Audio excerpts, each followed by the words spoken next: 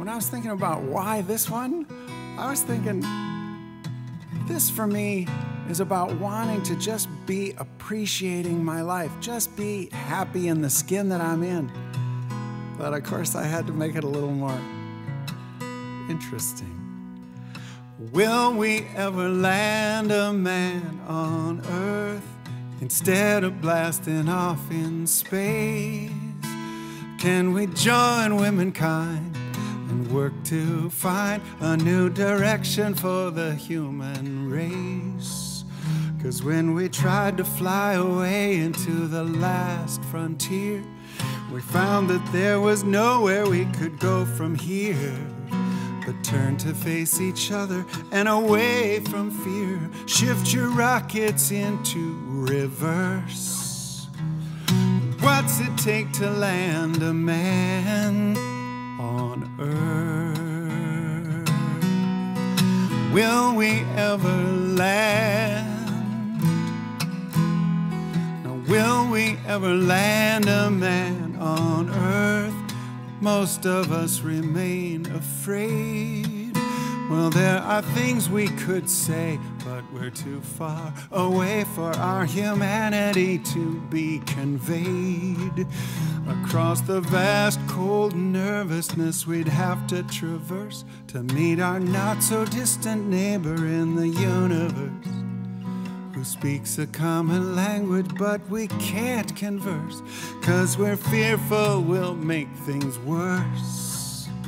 Oh, what's it take to land a man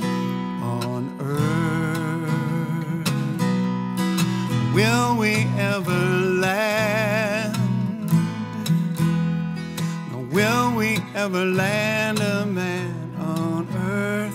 Could we ever go that far? I know the mission is bold to set that goal instead of stopping with the moon and Mars. We'll leave behind the superstitions with their gravitation. Respect the ecosystem of our interrelation learn the deeper channels of communication to give each of us a sense of worth. Maybe we could land a man on earth. Will we finally understand a man on earth? Or will we ever land a man? Can we make that giant leap down home? Can we handle some doubt? Can we venture out beyond the capsule of a life alone?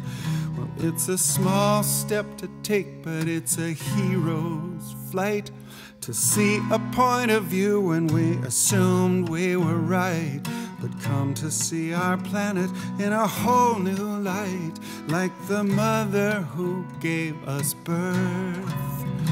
And maybe we could land a man. What's it take to land a man on earth? Come on